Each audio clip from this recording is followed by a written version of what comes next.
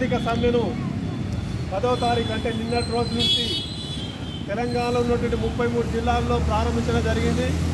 ప్రధానంగా మధ్యాహ్నం స్కూల్లో వంట చేసే గత ఇరవై ఏళ్ళ నుంచి కూడా వంట చేస్తున్న కార్మికులకు ఎట్లాంటి పరిభద్రత లేదు గుర్తింపు కార్డు ఈఎస్ఐ పిఎఫ్ సౌకర్యాలు లేదు. పరిభద్రత లేదు మరి లేని ఎట్లాంటి సౌకర్యం లేని కొట్టుమిట్టాడుతున్న సమస్యలో ఉన్నటువంటి కార్మికులను ప్రభుత్వం చిన్నచూపు చూస్తూ ఉంది.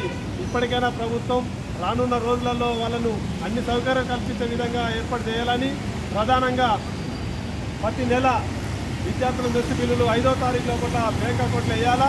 మరి పెండింగ్లో పెట్టద్దు. ఐదారు నెలల నుంచి పెండింగ్లో పెట్టింది కాబట్టి అట్లాంటి పెండింగ్లు పెడితే మరి మేము పెరుగుతున్న ధరలను అనుగుణంగా మరి ఈ ధరలకు అనుగుణంగా మెచ్చా తీయాలా మరి పని పెట్టాలంటే ఉద్యోగం పెట్టాలంటే బాగి చేయాలంటే మరి కిరాణా సామాన్ కొట్టి కిరాణా దుకాణంలో ఇవ్వడం లేదు.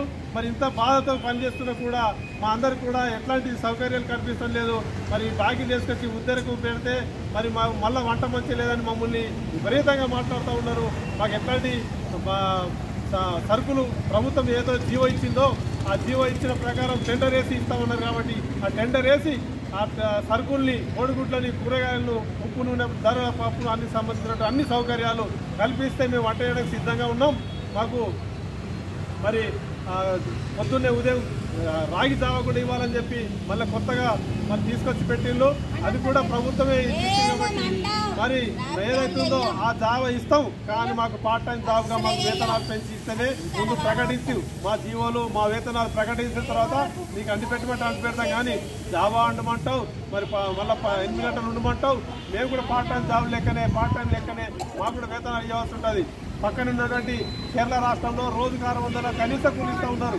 కాబట్టి మనకు కూడా వెంటనే కనీస కూలి ఆరు వందలు వాళ్ళు ఇచ్చిన ప్రకారం కూడా మన రాష్ట్రంలో ముఖ్యమంత్రి ఇవ్వాలని చెప్పి డిమాండ్ చేస్తూ ఉన్నాం.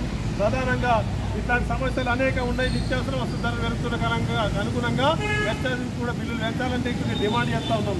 మరి పెరుగుతున్న ధరలకు అనుగుణంగా కోడిగుడ్లు గ్యాస్ సిలిండర్లు కూడా మరి ప్రభుత్వం సరఫరా చేయాలా? మరి ఇప్పుడు కొనబోతే కొని ఆడబోతే అమ్మన్నట్టు టమాటాలు ఉప్పు పప్పులు ధర పెరిగిపోయి నూట నూట యాభై రూపాయలు కొని పెట్టిన పరిస్థితులు ఉన్నాం. అయినా కూడా ప్రభుత్వం స్పందించడం లేదు. ఇంకా మేము మరి ఇవన్నీ సమస్యలు అని చెప్పి గత రెండేళ్ళ నుంచి మరి స్కూల్ చాలు కాకముందు నుంచి ప్రభుత్వం నోటీస్ ఇచ్చినాం హైదరాబాద్లో కమిషనర్కి ఇచ్చినాం మరి కలెక్టర్కి ఇచ్చినాం డిఓకి ఇచ్చినాం ఎంఈఓకి ఇచ్చినాం విద్యాశాఖ మంత్రికి ఇచ్చినాం ఈఓలకు ఇచ్చినాం ఆఖరికి ఇక్కడ ఎంఈఓలకు ఇచ్చినాం. ఇక్కడికి వచ్చిన తర్వాత ప్రతి ఒక్కరికి కూడా ఇవ్వడం జరిగింది. స్పందించలేదు గవర్నమెంట్ స్పందిస్తలేదు తిరుగుతూ ఎంత ఎంత కొట్లాడినా మాట్లాడతలేరు కనీసం సమస్యలు పట్టించుకోవడం లేదనే శివరాస్త్రంగా బ్రహ్మాస్త్రంగా సమ్మెను మేము ప్రయోగిస్తున్నాం ఈ సమ్మె ఎత్తా ఉన్నాం. మరి సమ్మె సందర్భంగా వంటలు బంద్ చేసి మేము మొత్తం కార్మికులందరూ మరి సమ్మె ఎత్తే మమ్మల్ని బెదిరింపులకు గురి చేయాలని విద్వాసాలు కావచ్చు గ్రామంలో సర్పంచ్ కావచ్చు కమిటీ చైర్మన్లు కావచ్చు బెదిరింపులకు గురి చేస్తే మాత్రం మేము ఒప్పుకునే లేదు. మేము కూడా చట్ట ప్రకారం రూల్స్ ప్రకారం మనం ఏదైతే కా- ప్రభుత్వం చెప్పిందో ఆ రూల్స్ ప్రకారమే నోటీసులు ఇచ్చి మేము మేము మా సమ్మె చేస్తున్నాం తప్ప మేము ఇలా బంద్ చేసి మేము చెప్పకుండా బంద్ చేయకుండా చెప్పకుండా బంద్ చేయడం లేదు బంద్ చేయడం లేదు. కాబట్టి చెప్పే చేస్తున్నాం కాబట్టి ఇప్పటికైనా ప్రభుత్వం ఆలోచించి హెడ్ మాస్టర్లు సానుభూతితోటి చైర్మన్లు మా చదువురాని అక్కలు చెల్లెలు మంచిగా ఇరవై ఏళ్ళు నుంచి అండి పెడతా ఉన్నారు. మరి వాళ్ళ అప్పుడు వంట మంచి లేదని ఇప్పుడు వంట మంచి ఉందని మేము సమ్మె ఎత్తంటేనే వంట మంచి లేదని సమస్య తీసుకొచ్చి పెడతా ఉన్నారు. కాబట్టి మీకు బరువు అవుతుందని చెప్పి అంటున్నాం కానీ కానీ మాకెంత బరువు ఎంత కష్టంతో చేస్తున్నామో మా కార్మికులను చూసి అర్థం చేసుకొని మాట్లాడాల్సిన బాధ్యత మీ మీద ఉన్నది. ఇప్పటికైనా ప్రభుత్వం ఆలోచించి మా మా సమ్మె సమ్మె సందర్భంగా ఈ సమ్మెను బాగా రోజు పొడగించకుండా చేయవలసిన బాధ్యత ఉంది. రేపు పదమూడు తారీఖు నాడు హైదరాబాద్లో చెలో ఇంద్ర పార్క్లో మరి పెద్ద ఎత్తున బహిరంగ సభ పెట్టి ప్రభుత్వానికి హెచ్చరిక వేయడానికి పదమూడు తారీఖు హైదరాబాద్ వెళ్తా ఉన్నాం. కాబట్టి ప్రభుత్వం అప్పుడు కూడా స్పందించకుంటే ఇంకా ఏం చేయాలో అనేది మరి ప్రభుత్వమే నిర్ణయం చేసుకోవాలి. వాళ్ళ వాళ్ళ చేతిలో వదిలేస్తున్నాం. ఇక సమయం మాత్రం ఆపేది లేదు. వంట చేసే పరిస్థితి లేదు. మరి వండి కొని తీసుకొచ్చి పెట్టే పరిస్థితి లేదు. బిల్లుల పెండింగ్లు ఉంటాయి జీతాలు పెండింగ్లు ఉంటాయి. మా కడుపు మార్చుకొని మా పొట్ట మార్చుకొని మా కుటుంబాన్ని రోడ్డున వారేసి మీకు అన్ని సౌకర్యాలు చేయాలంటే ఏ విధంగా చేయాలో అర్థం చేసుకోవాల్సిన బాధ్యత ప్రభుత్వం మీద ఉందని చెప్పి మేము డిమాండ్ చేస్తా ఉన్నాం. కార్మికుల ఐక్యత. కార్మికుల ఐక్యత. మాట్లాడు మాట్లాడు.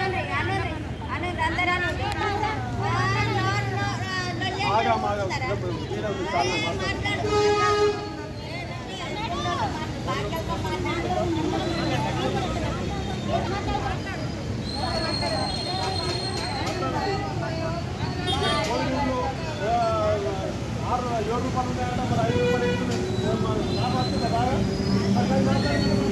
కూరగాయలు వచ్చేసి, ఆ, అది నూట యాభై రూపాయలు ఉంది, ముప్పై రూపాయలు కిలో లేదు. మరి పోయి- అది ఏం మాట్లాడుకోండి? ఏం మాట్లాడుకోండి? టమాటాలు పెరిగిపోయాయి, కోడి మాట్లాడాలి, ఇంకా ఇక్కడ ఇదే మాట్లాడండి. అదే మాట్లాడుతున్నామా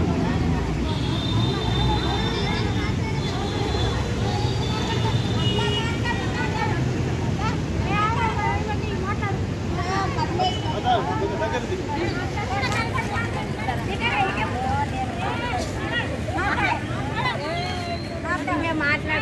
ఆగు, ఆగు. నిత్యావసర సరుకులు పెరిగినాయి కాబట్టి మాకు ఐదు రూపాయలే గుడ్డుకు రేటు మాటిస్తుండ్రు ఆరు రూపాయలకు దా- వాళ్ళు తీసుకుంటారు మనం ఐదు ఆరు రూపాయలు ఎక్కడికి వెళ్ళి ఇస్తాము? మేము మెస్ ఛార్జీలు పెంచకుండానే రెండు రెండు కూరలు చేయమంటే మేము చేయలేము కదా. దీనికి పెరుగుతున్న ధరలకు అనుగుణంగా మెస్ ఛార్జీలు పెంచాలి. పెరిగిన జీతాలు కూడా ఇవ్వాలి. ముఖ్యమంత్రి అన్ని హామీలు ఇచ్చిండు కదా మరి ఏవి నెరవేర్చలేడు మాకు. మూడు వేలు ఇస్తున్నాడు మూడు వేలు లేవు మూడు కొత్త నుంచి ఇప్పుడు అవే వెయ్యి రూపాయలకి ఇరవై ఏళ్ళు వేసేయబట్టి మూడు వేలు లేవు కోడిగుడ్లు వారానికి మూడు సార్లు పెట్టమనుడు ఆ కూరగాయలు ఏమో నూట యాభై రూపాయల కిలో టమాటా. కూరగాయలు పంపుతామంటే కూరగాయలు లేవు కోడిగుడ్లు పంపుతామంటే కోడిగుడ్లు లేవు ఏవి లేవు. పెట్టి పెట్టి దమ్ముకొస్తుంది. ఆరు నెలల యొక్క బిల్లు ఎత్తలేదు మాకు. అండలేక బాధపడుతున్నాం. మా కష్టాలు ఎవరికి ఆది కత్తలేదు మమ్మల్ని అంటే మేము కళ్ళకి ఇస్తలేరు అంగన్వాడీ వాళ్ళు అంటేనే కళ్ళకి కానొస్తుంది మధ్యాహ్నం వల్లమే కానొత్తలేము గ్యాస్ కోడిగుడ్లు కూరగాయలు మీరే సరఫరా చేయండి. అంగన్వాడీలకు ఇచ్చినట్టు జీతాలు సమ్మె చేసుకుంటూనే ఉంటాం. వంట అసలు చేయం. ఏడు మరిచారు సార్ మేము బెదిరిలో వాడాం తీసేసుకోవాలి ఎవరో తీసేయండి. నోటీస్ చేయకుండా తీసేస్తే మీకు కబడతారు మీ నోటీస్ లేకుండా తీసేస్తామంటే మా సంతకాలు లేకుంటే వాళ్ళు తీసేస్తారో? తీసేయండి మాట్లాడు మీ సెల్లబడలు మాట్లాడు. మాట్లాడు మాట్లాడు. అడగలే